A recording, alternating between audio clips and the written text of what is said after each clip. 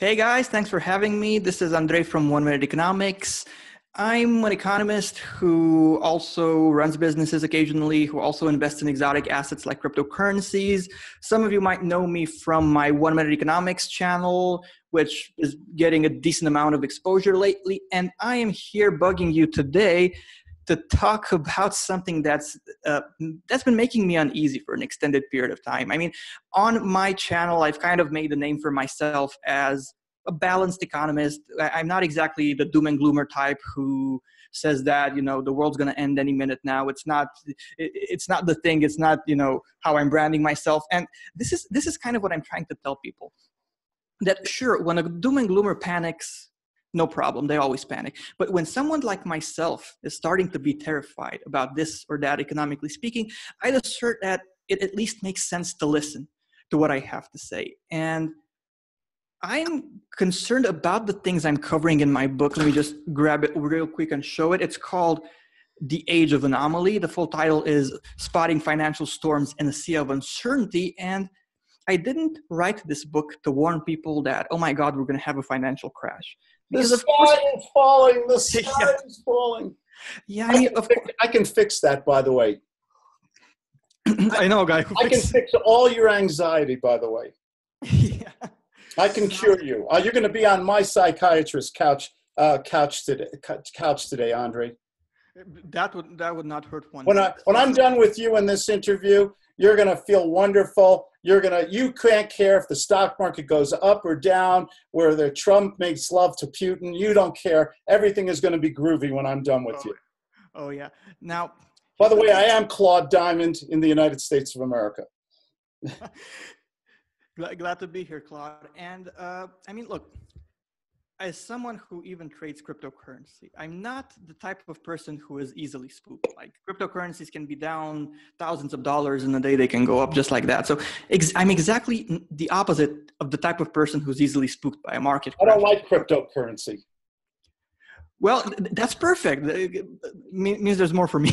I have a bridge. I have a bridge in Brooklyn, New York, and there's no toll booth on it. I could sell it to you for a very good price. You put a toll booth. See, to me, cryptocurrency is sucker. It, it's you have no control. How I hate things where I can't control them. Yeah, I mean, I tell people I'm not exactly you know the type of person who becomes a fanboy of something, but as someone who lives in Romania, more so I'd say than people from the United States, and especially as someone who tried to do business in Romania, there was just one problem. Let's say 10 years ago, when I started having being involved in more serious pro- uh, projects, which is the fact that nobody wanted to have anything to do with me. Like at that point, PayPal did not accept Romania, for example. Why? And you know, I had they were like, yeah, of course, they're going to give you a textbook response like, for your for your protection, we are unable to approve your account right now, or just you know some template issue. Does Romania have a bad inter? Uh, is Romania? Uh, and don't please, I'm not trying to be offensive here. Is Romania kind of like uh, Nigeria, where we get these emails that I just found out I'm the crown prince of uh, of South Africa or something like that? No, no. I mean, we're not the people who tell you you're now the Sultan of Brunei. No, but uh, but I mean, nowadays Romania is a member of the European Union. Nowadays PayPal accepts us, and it's all good. But like 10 years ago, 15 years ago, it was a huge problem because we were not in the EU back then. So nobody took us nobody took us seriously. And then you, you did have this problem, right? Like you had this ability to do something, whatever it is, like design websites or whatever it is you're good at but you had trouble getting paid for your work essentially and really? of course so, oh yeah. Oh, oh yeah. Oh, I'm, I'm surprised because the one thing about entrepreneurism is we don't care who you are where you're from what you look like. Can you make me money? Can you solve my problem? I don't care where you live or what you do or what you look like. That's why i love capitalism. Do people in romania do people in romania love capitalism? I have to say that, that that among people in Romania, I'm I'm a rarity. So percentage wise, people in Romania aren't hooked on entrepreneurial stuff. And in, in a way, not? if you think why not capitalism, socialism, communism, it sucks. It, there's no country in the world that has the lifestyle of modern capitalist countries. Why isn't everybody doing it? I agree with you 100%. But yeah, when you had like uh, Romania was under a communist regime for 50 years. I was born in the year of the Romanian Revolution. And okay. nowadays, of course, more and more young people are starting to get that, you know, capitalism is the way to go. I wouldn't be here without capitalism. Yeah. But yeah, but uh, it's a generational thing. And our poor, our poor, people in this country, the United States and Canada, and most modern Western countries, our poor people are, are rich compared to some third world countries. They have cars, houses, and things, and they still think they're poor. Isn't that amazing? Of course. I mean, we have numbers about the GDP growth of various com- countries that were under communism, and you have the GDP growth numbers of everyone else, and everyone else had a four times greater growth rate. So, yeah, the numbers make sense. But why do you think Donald Trump acts the way he does? I'm not going to get political here, but why do you think he's so loud and like me, and so um, he's always right? And why do you think he has that personality like that? Yeah. I mean, he's a sales guy. He's a sales guy. Everything yes. about him is all about sales.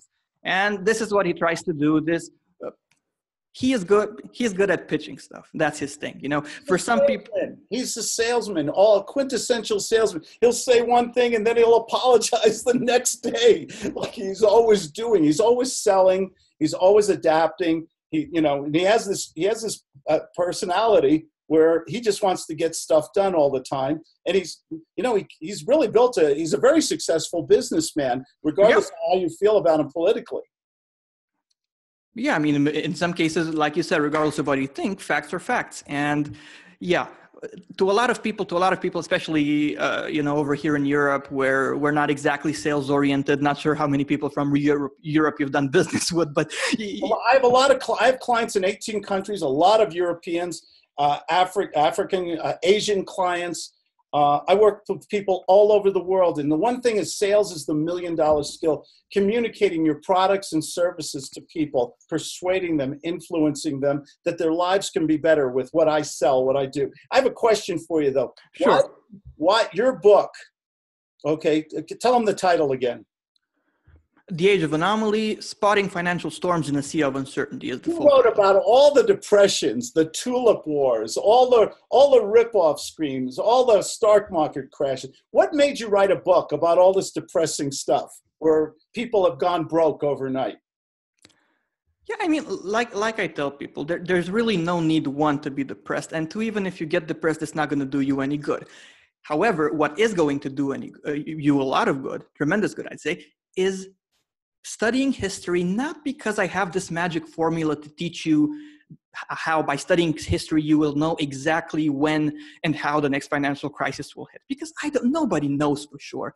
But you study history because it gl- gives you a glimpse into human nature. You're in sales. We're all about human nature.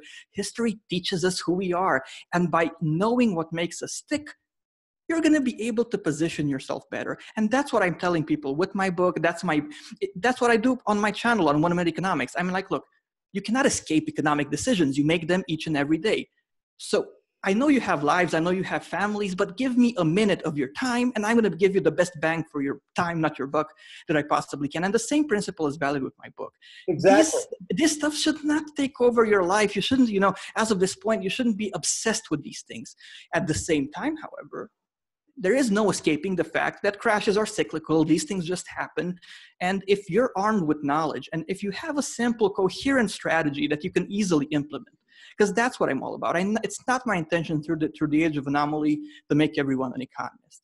Well, be, there's an expression those who don't serve to study and revere history will repeat it. Exactly. Okay. Exactly. And to me I, th- I, I couldn't care less if the stock market crashed or anything else. Same I'm the glass is half full. Warren Buffett, the, the billionaire, one of the richest men, if not the richest man in the world, he makes more money when there's a cataclysmic downturn in the stock market. The same Warren Buffett, you know, he always says, be fearful when everyone else is greedy and greedy when everyone else is fearful. And that's precisely what I teach people in my book. I'm like, look, these things aren't rocket science. I'm going to teach you how to put together a list of assets you consider desirable. I go through each of them one at a time, traditional ones, exotic ones as well. And I'm look, I, I tell them that by reading my book, you're going to know exactly for your specific situation that I want to invest in this asset for that reason. I want to invest in the other asset for another reason. And these things are going to be firmly entrenched in your subconscious. And then by having a firm grasp of what do you want to do and how you want to do it, we're going to get right back to Warren Buffett. When everyone else is going to panic that the stock market is crashing by 60% or whatever, you're going to say, wait a second, I know that I want exposure to this stock. I want exposure to this company. I want it. They're good companies. I want a piece of them. And hey, if everyone else is panicking, that's perfect. I can get them at a cheaper price. And the same principle is going to be applied when it comes to each and every asset. And that's the key knowledge. Like people are running around when there's a panic like headless chicken because they don't have a firm grasp of how these things work. But once they do, they're going to realize it's you don't have to be a genius to pull it off. You just have to do a few simple things like I outline in my book. And of course, the sooner you do it, the ready, like I, the better. Like I always tell people, I'd much rather start preparing a year too soon than a week too late. But this preparing a year too soon doesn't mean you have to spend all your time doing it. Yeah, I, I, believe in yeah. I believe in preparation. We you remember this the crash, the banking crisis in 2007. Obama was not president yet. Bush was still president. Uh, it was almost 2008, and we had a tremendous crash in this country in terms of real estate. It was overpriced. It was overfinanced and everything like that. I saw that coming about a year to or about a year earlier. I saw it was too good to be. When my, my feeling is when things are too good to be true in the economy, that's the time to start being cautious, conservative, maybe even get out. I was in real estate. I sold a lot. I saw it coming. And your book is about preventive medicine, basically. Exactly. the way I see it. It's about, so I saw it coming because I read a lot. I watch the tea leaves. I try to use a lot of common sense. I sold a great deal of real estate before the crash. I still saw, and I regretted some of it because some of it kept going up in value. I live in California where real estate mm. is extremely expensive, and the real estate start and the real estate uh, started to go down, and I got out early and I was able to protect my capital. So what you're saying is is to is to adjust and prepare yourself basically for whatever is going to become. I know one thing about business. It, about real estate or the stock market goes up and it goes down and nobody knows exactly when would you say that's basically what you're trying to tell people is prepare for the ups and downs of, of finance and capitalism?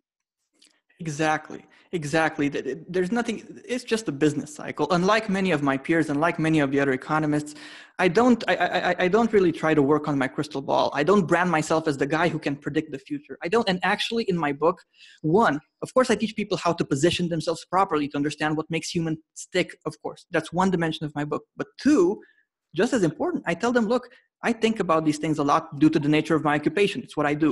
But even someone like myself might be caught by surprise, like a, by a black swan event or something of that nature. And therefore, I dedicate in my book just as much energy to becoming more financially resilient in general. And by, by kind of tapping into these two dimensions, you don't, you don't really need to do much more from a financial perspective, which is what I specialize in. Excellent. Excellent. How important do you think it is for someone to be a good communicator, a good salesman? I'm a sales trainer. I'm the author of the GUTS Sales book. Okay. I teach people, I think it's the million dollar skill. No matter what business you're in, it is. Good times or bad. I think, I don't even care. You know what my definition of success is, Andre? Have you ever read any of my? I have one definition of success. Take everything away from me houses, cars, clothing. Yeah, same. Strip me naked and and you get me to a telephone and in 30 days or less i am so confident i feel so good about myself.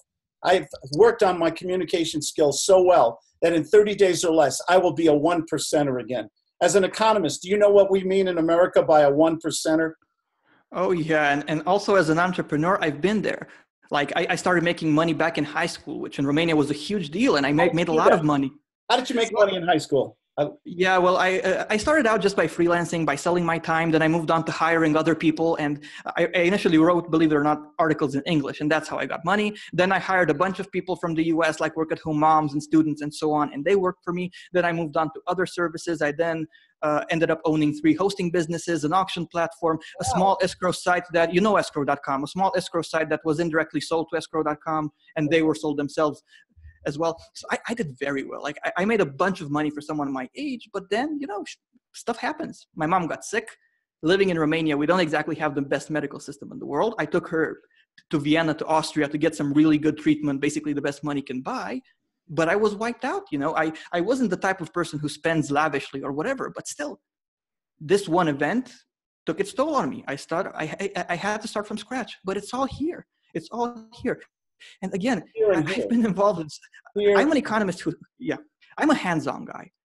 I, I like I'm an economist who puts like a pretty decent, I feel, balance between book smarts and street smarts on the table. And yes, it's all about the sale. It's always about the sale. Like, how am I trying now to, to tap into people's mind? Like my right now, right now, my number one goal is getting my message to as many people as possible. To do that, guess what? They have to find out that my book exists. So it's all it's always about the sale. Whether you're an economist selling books whether you're selling yourself when looking for a job or whether you're an entrepreneur it's always about the sale. Tell us about entrepreneurism in Ro- romania. I think a lot of people who know me or watching this don't know much about romania. Wait is, is there a is there a burgeoning entrepreneur mentality in romania right now? Are we seeing something? Are, are people wanting to start their own businesses and things like that there? I would love I, I would love to say yes. I would love to say yes because that I'm all about business. Is it is there enough freedom so anybody can go out and sell? Oh something? yeah, there's there's there's complete freedom here. You can do that. whatever you can do whatever you want. But and this is the fight we're having here in Romania. After 50 years of communism, everyone wants the government to take care of them. Everyone wants a cozy government. You know, the American dream doing something with your life, making something happen, you know, like what we're doing right now. The Romanian dream, getting a comfortable job working for the government. So, wow, yeah. so boring. But a few people like you, there's a lot of young people like you say, hey, oh, yeah. I want more. I want a lifestyle. I don't want to. I don't want a pension from the government. I've gotta be poor the rest of my life. And, and, you know what the ridiculous thing is that that hey, okay, for someone from the U.S. or Germany or whatever, yeah, but from someone like a, like I am from Romania, where it's not like the quote unquote system gives you all that many amazing career options. So for someone like myself in Romania, people ask me, oh, why did you risk so much to do your own stuff? And I'm like, it would have been risky not to do my own stuff and rely on freaking Romania for my living, you know? That's that's that's what frustrates me personally, and that's why I'm trying to get more people to hop on this train to do their own thing. It's a power of example thing as well that I you know I I try to reach people with in Romania but it's an uphill battle because the mentality over here of relying on the government on wanting to work for the government and everything like that it, it, it's so darn widespread that it, it's gonna take a good generation or two be, before the percentage of people like myself increases a lot so when other people see that you're entrepreneurial, you, you own your own car, you own your own house, you have freedom, you can do what you want when you want, you want to take a vacation, you have enough money to take care of your parents. You're a good son, by the way. Mm-hmm. I, I love my freedom and entrepreneurism, my business, because it allowed me to take care of my parents too, who are both ill. So we have that in common. The freedom, though, uh, it's amazing to me. I, I did you did, are you familiar with Ayn Rand? Oh yeah, I've read. Uh, I've read the Fountainhead. I, I, have read Atlas Shrugged as well. Should everybody? Should every? Do people in Romania um, study free enterprise? Uh, watch free enterprise movies and speakers and read books like uh, uh, like that? Do they? What do they think when they see people who who just live wonderful lifestyles? What is what's going through their mind? Don't they want that? Do they watch them? Yes. Do they internalize the stuff that's being done there? Absolutely not. And that's that's the main problem you know? And the attitude they have towards a lot of people who were successful once again something i mean they were like yeah yeah yeah he was successful but he got lucky. So yeah it's so risky to do your own thing. He, he, of course he did well but he got lucky or of course you're doing your own thing but and many romanians i've realized freedom is a dangerous thing freedom yeah. is a dangerous thing. Like uh, you know those who are willing to sacrifice essential liberties for in exchange for freedom deserve neither is, is a saying that's popular in america. And it applies over here as well. People are terrified are terrified of taking chances. People are and they're willing to rationalize absolutely anything away you can show them case studies in the united states you can show them i don't know the guy who coded who, who programmed whatsapp the popular app who went from being on food stamps to being a billionaire yeah. But they, they, they, still they still think it's a scam somewhere in between. They're still like yeah yeah yeah sure. I understand what you're saying. If, if you have conversations with them and i most of them maybe one out of ten is going to be okay yeah I like what you're doing. I want to do what you're doing, and I'm gonna do what you're doing. But nine out of ten, they're gonna be like, "Yeah, you're right. You're correct. Everything you're saying is true." But it's kind of it goes over their head. It, it, they're listening, but they're not actually internalizing this stuff. They're not so actually. This is a cultural change that is event that's slowly happening over there. Do you get speakers? Do they listen to Anthony Robbins, Brian Tracy? Yeah, they do. They do. They do. But but but there's a difference between between genuinely having this desire to be engaged and to put the stuff you learn to good use and just listening as if you're watching a movie. And that's that's kind of the distinction i want. Way too many people yeah they listen they watch tony robbins on youtube or they watch one of the other you know another good speaker and maybe they get pumped for like a few minutes but they have no intention genuinely speaking of internalizing those things you know? Interesting as far yeah as far as most people are concerned again not all. And once again i do, I do want to say it's not all gloomy. Like we do have younger generations that are more and more looking into this stuff. But uh, i've learned that in certain situations it just takes time. So it's it's a generational shift kind of thing. So it's that poison that communism that dictatorship those totalitarian governments yeah. they just poison generations of people don't they, they they poison generations of people and those generations of people we call them mom dad you know eh, those generations of people then educated newer generations and yes some some people are realizing wait a second some of these values that we've been taught in communism they're awful and and we have to move away from them. But, but it's just ultimately ultimately I, i've kind of learned to accept the fact that things are going in the right direction i feel but it's going to take time. What did the uh, Ceausescu uh, government? Yeah, Ceausescu. Ceausescu, thank you. And uh, I know enough to be dangerous here. Uh, when, did, when did that government fall? Yeah, well, first of all, you know, there was this uh, context. As you know, in 1991, the USSR fell, and even so, like the USSR went from uh, 14.31% as a share of the world's economy in 1969, which was their peak, to just uh, 3.58% in 1991, which was the year of, of their dissolution. And that was kind of a contextual thing with the Iron Curtain and then a bunch of countries that were under their sphere of influence, of influence in one way or another, then communism fell over there as well. And initially in Romania, I, am pretty sure that the goal of people was to implement a type of perestroika here, something like Gorbachev tried to implement uh, over there as well. But eventually, no, we did try. We we did eventually move to a system, for better or worse, uh, based around free markets. But but again, at, at the beginning of, of of what we went through in Romania after the revolution, think of it as something similar to what's going on in Russia. You know, like okay. a bunch of people, a few people who have government connections, getting filthy rich and.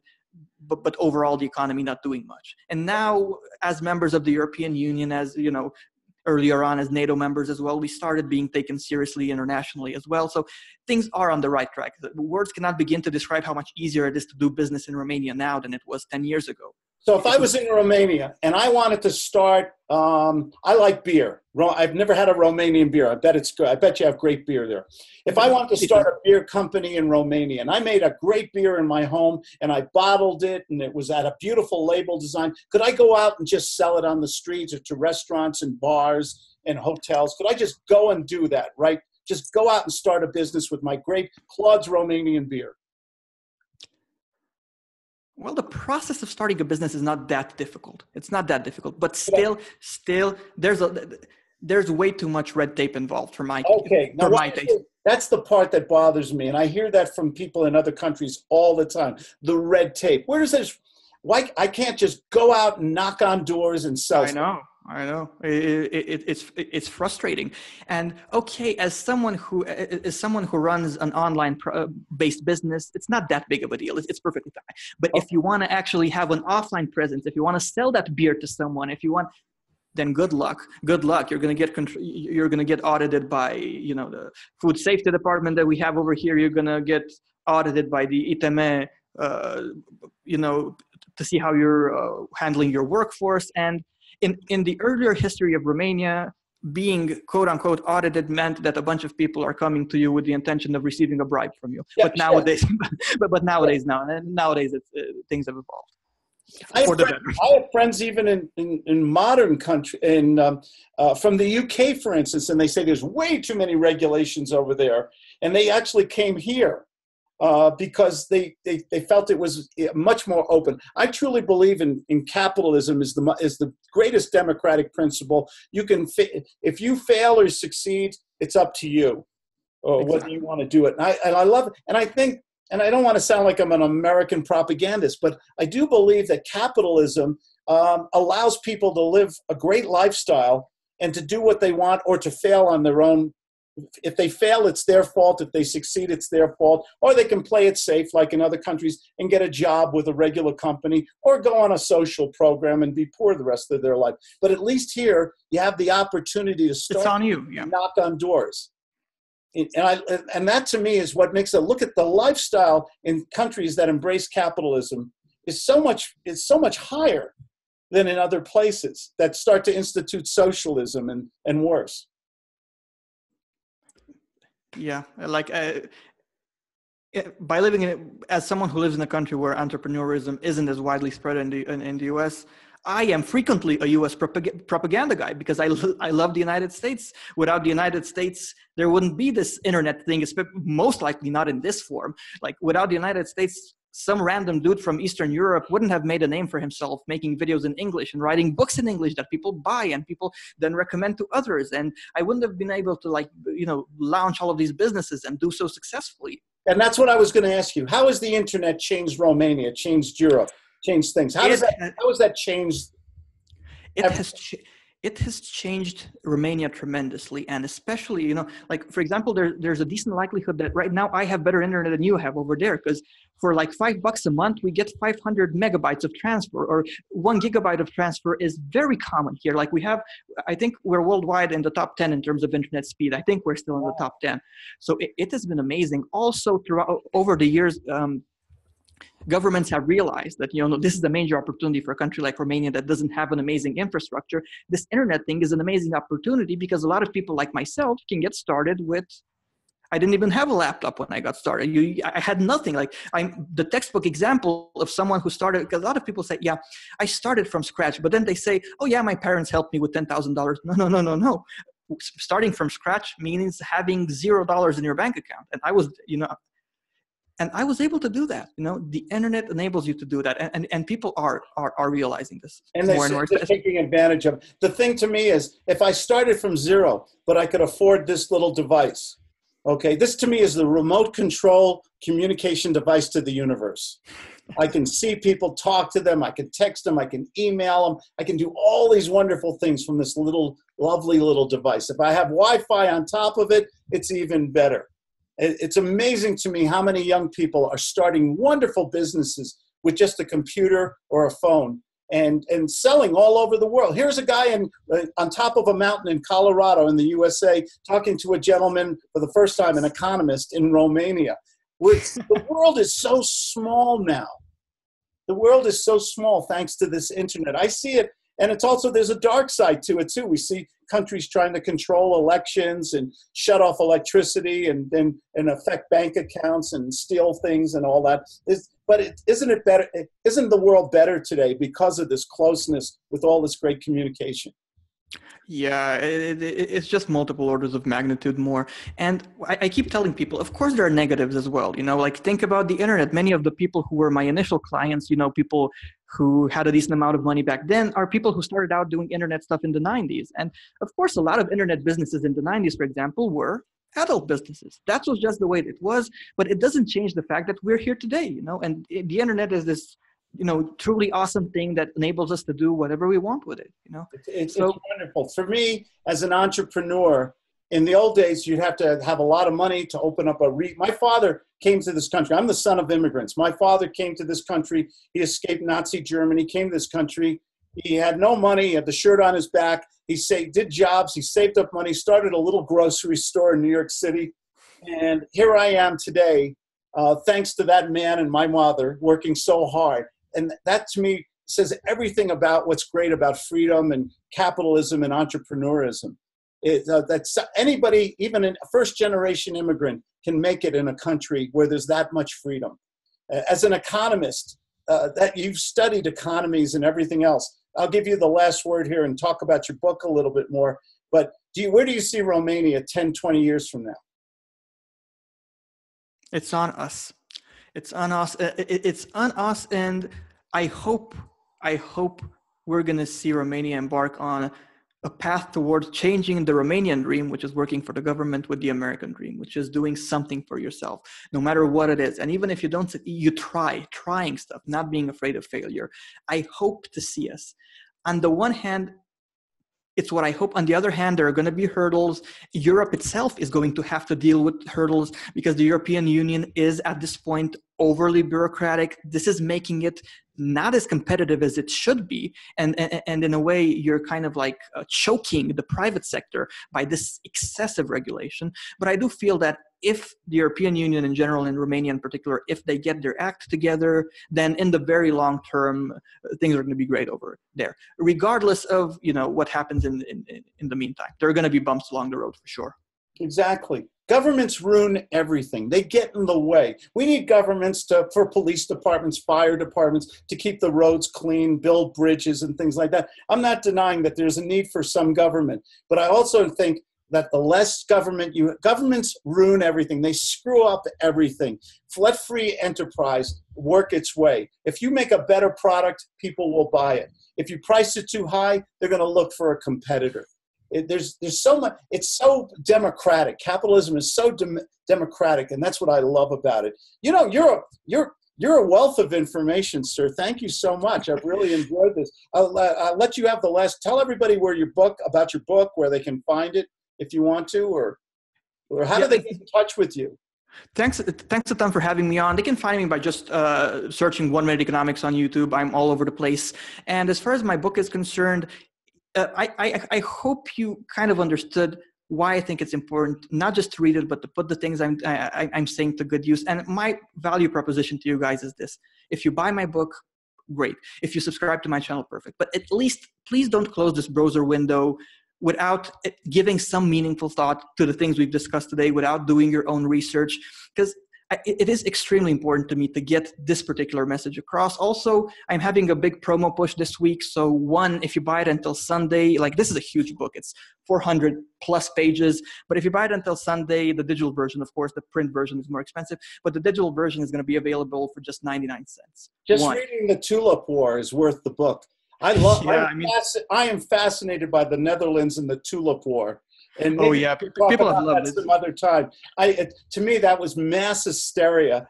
Uh, his, uh, hysteria. At, at, at, it says everything about what we should avoid in economics.